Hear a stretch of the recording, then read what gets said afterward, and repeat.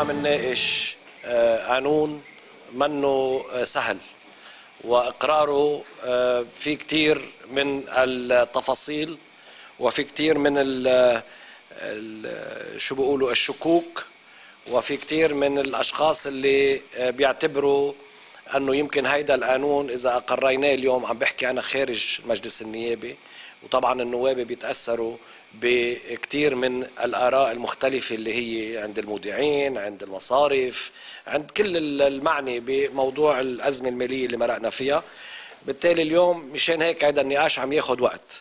اليوم اقرينا فقرات 6 7 8 9 10 11 12 13 14 15 و16 من التعاريف. هلا من ميلي بنشوف عددهم كتير بس بعدنا نحن بالمادة الثانية هيدي الفقرات ضمن المادة الثانية وصرنا بالنهاية أمام فقرة 17 اللي هي الأموال الجديدة تعريف الأموال الجديدة. رح نبلش فيها بالجلسة القادمة. ووراها تعريف 18 19 بعتقد بيكونوا أسهل. وراح منفوت بالمادة الأساس والمادة الأهم يلي هي المادة الثالثة اللي تعني تعنى بإنشاء لجنة خاصة. وهيدي اللجنة الخاصة اللي هي بدها تكون عم تشرف على تطبيق ال capital control وهون بيت القصيد. مين هي اللجنة؟ مين بيكون مشرف عليها؟ وكيف بيكون دورها لهي اللجنة؟ تمن نروح لبعيد ما في قرار. هذا القرار بيتاخذ بالمجلس النيابي من الزملاء النواب وفي اقتراحات مختلفة ونحن منفتحين على كل النقاشات ومثل ما قلت بالماضي برجع بقول دوري أنا إدارة الجلسات أنا مني عم هون لأفرض وجهة نظر فريق على فريق آخر. هيدا الشيء بيصير بالطريقة اللي لازم يصير فيها بالنقاش بين النواب والاكثريه بيكون عندهم خيار لتعريف وتشكيل اللجنة وتشكيل هيك لجنة. بدي بلش بكلمة للمودعين. وأنا دائما بقول أنا واحد منهم وأنا بعني لما بقول واحد منهم لأنه أنا أحد المودعين اللي إذا بده ينعمل لجان للمودعين تحكي باسمهم يمكن أنا أحد أبرز أعضاء لأنه أنا من المودعين اللي ما عندي علاقات لا بتحويل مصاري للخارج ولا بقروض مأخوذة ولا بأي شكل من الأشكال. أنا بعرف شو هي صرخة المودعين الحقيقية. في مودعين كتير اليوم عم بيتم تضليلهم. capital control هو اللي ضرب حقوق المودعين. بدي طمنهم وأقول لهم نحن وجودنا هون اليوم لينعمل capital control معدل مثل ما بنلاقيه مناسب ليحمي حقوق المودعين وليس العكس. عدم وجود capital control معناتها في استنسابية بالتحويل اللي عم بتصير للخارج وما حدا يقول في غير هيك. ال capital control اليوم بنظم بنظم التحويل إلى الخارج لأنه إذا صارت بشكل استنسابي ما بنعرف مين بيستفيد ومين ما بيستفيد. السواد الأعظم من الشعب اللبناني غير مستفيد. نحن إذا عملنا capital control بصير في من يحاكم إذا اشتغل خارج القانون. مشان هيك في أهمية لإقرار هكذا قانون ولكن مش أي قانون. هيدا القانون مثل ما قلت بده يكون مدروس ليحمي مزبوط حقيقة المودعين ويعمل عدالة بطريقة التصرف بالتحويل إلى الخارج رغم كلنا بنعرف أنه ما تبقى من الأموال الموجودة اليوم حاليا.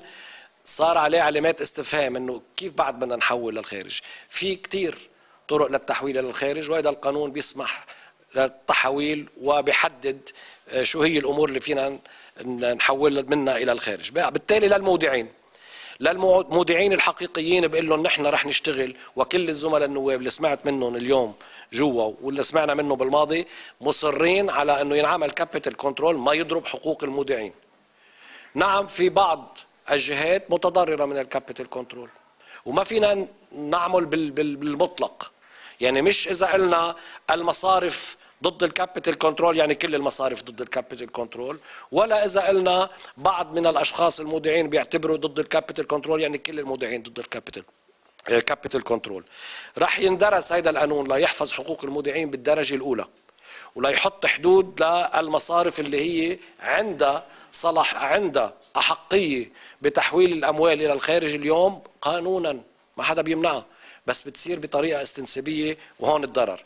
بقى بالتالي البعض اللي عم بيحرك من آه، يدعي تمثيل المودعين خليه يجي يناقشنا.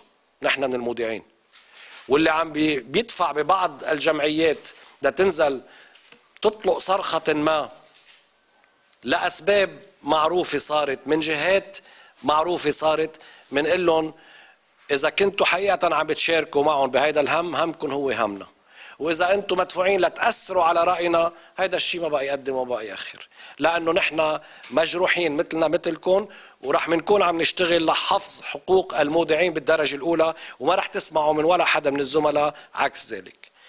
أما لل الجلسة اللي انتهينا منها اليوم بنهاية الجلسة آه، تواصلت مع دولة الرئيس آه، نبيه بري وطلبت من دولة الرئيس لأنه مثل ما بتعرفوا بالنظام الداخلي دولة الرئيس هو من يدعي من يدعو إلى جلسات النقاش بال باللجان المشتركه وطلبت أنه نقدر نعين جلسة لنكفي النقاش الأسبوع القادم. فدغري سبقني وقال لي ليش ما بتعملوا اليوم الأربعاء؟ نهار الأربعاء مساقبه في لجان أخرى موجودة.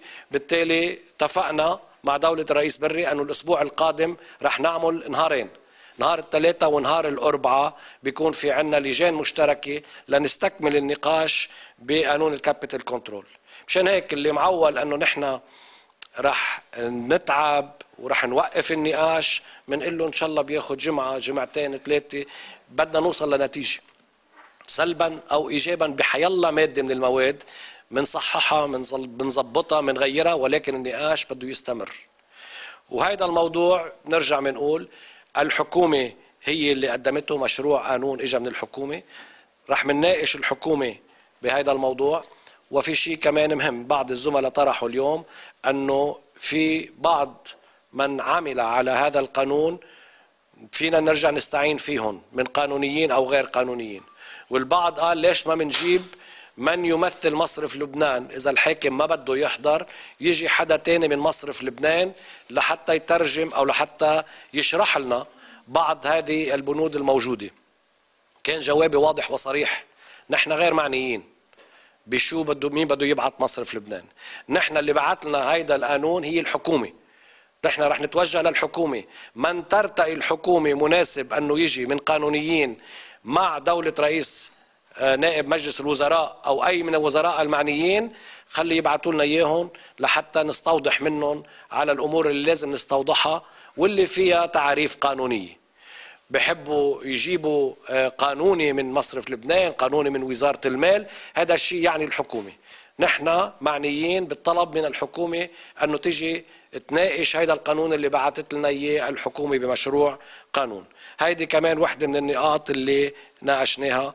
على أمل الأسبوع القادم مثل ما قلت نفوت بالنقاش ونبلش مباشرة بالأموال الجديدة ووراها دغري المادة ثلاثة اللي هي بتحكي عن اللجنة لأنه هيدا صلب الموضوع. هيدي اللجنة حقيقة هي اللي بتخلينا نوثق ولا ما نوثق بالقانون لما يصدر. ولما يصدر هذا القانون مش رح يصدر من اللجان المشتركة طبعا. بده أرجع أكد وأقول مثل ما اتفقنا آخر مرة بده يروح على الهيئة العامة. وقبل ما يكون انطرح بالهيئة العامة بنتأمل أنه يكون صار في عنا كمان قانون إعادة هيكلة المصارف نوقش باللجان المشتركة وتحول إلى الهيئة العامة ليكونوا مطروحين كلهم بالهيئة العامة. وما يعود حدا يقول أنه بدنا نوقف النقاش بهذا القانون لنمشي على قانون آخر. هيك بتكون الصورة صارت واضحة بالهيئة العامة على أمل هذا الشيء يصير بأسرع وقت ممكن لأنه في ناس بتقول ال IMF ضرورة وفي ناس بتقول ال IMF مش ضرورة.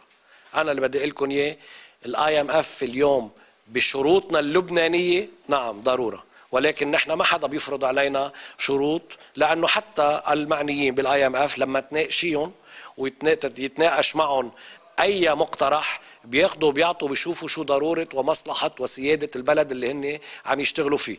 بالتالي نحن ما بنروح بالمطلق. مع أي شيء بيجينا من جهة ال IMF ولكن على استعداد لمناقشتهم لنعدل اللي لازم يتعدل ليكون مقتنع المجلس النيابي مع حاله والأعضاء مقتنعين مع آه، مع زملائهم أنه هذا الشيء الأفضل اللي لازم ينعمل للبنان ويعطيكم ألف عافية. رح نبلش من اليمين دكتور رئيس كانوا النواب عم يطلعوا وعم بيقولوا انه المد البند السادس اللي حضرتك قلت انه من 6 ل 16 آه، خلصتوا منهم بالمد الفقرة قصدك؟ بمنصة صيرفه كانوا عم بيقولوا انه تم تعليق هذه الفقرة لأنه لا يريدون أن يشرعوا يعني ليس من آه، شغل مجلس النواب أنه هم يشرعوا منصة صيرفه انتهيتوا منها ولا علقتوها إلى وقت؟ لا نحن أعطينا اقتراحين عليها وواحد من الاقتراحات هو تعليقها لحتى نناقش المادة أربعة أو خمسة بعتقد. خمسة المادة الخامسة لأنه هيدا المحل المذكور الوحيد في منصة صيرفة. وهي بتحكي بالحقيقة على شو هو كيف بدنا نعتمد نحن آخر شيء سعر الصرف اللي بده على أساسه يتطبق هذا القانون. الزميل جورج عدوان حكي عنه يكون سعر الصرف فعلي وأنا بعتقد الكل وافقوا الرأي. سعر الصرف فعلي مش يكون المودع إذا حاطط مصرياته على سعر معين نيجي نعطيهم على صيرفه بركي صيرفه ضربت له هيركات 50% نحن ما رح نقبل بهذا الموضوع. مشان هيك قلنا لما نوصل على نقاش هيدي المادة علقنا ممكن نلغي كليا موضوع تع- تعرفة تعريف منصة صيرفه ممكن نكتفي بكلمة السعر الفعلي بس بدنا نلاقي طريقة لأنه حتى إذا بدنا نحكي السعر الفعلي بدنا نشوف مين اللي بيحدد السعر الفعلي. مشان هيك قلنا النقاش بيصير لما نناقش بالمادة آه، خامسة. تفضلي.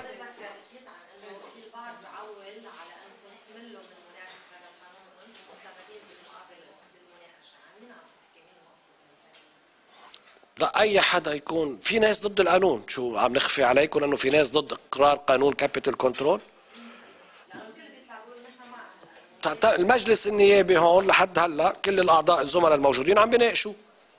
بالتالي إذا كان حدا عنده نوايا إنه ما بده يناقشه ما رح هيدا اللي قلت أنا ما رح نمل بدنا نضل نناقش. وياته النقاش شغال وماشي. في ناس اقترحوا وقف النقاش فيه والذهاب إلى الحكومة بشيء آخر. ولكن هذا الاقتراح ما أخذ اكثريه ما مشي. بالتالي حناقشه. يعطيكم ألف عافية.